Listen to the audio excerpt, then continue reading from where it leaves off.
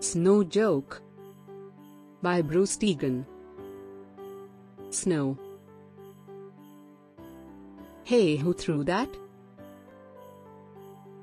That's not funny, said Bunny. It's just a joke, said Red. Let's make a snowman. That's not funny, said Bunny. It's just a joke, said Red. Let's make snow angels. That's not funny, said Bunny. It's just a joke, said Red. Let's go sledding. That's not funny. It's just a joke, said Red. Let's skate. Red sped. Red pushed.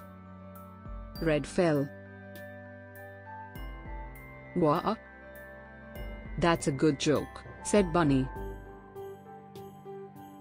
It's not funny, said Red. Everyone went to Bunny's house. But where was Red? Red was on the step.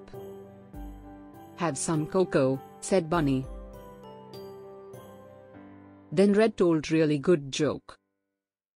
And everyone liked it. The end. Thanks for watching and please subscribe my channel.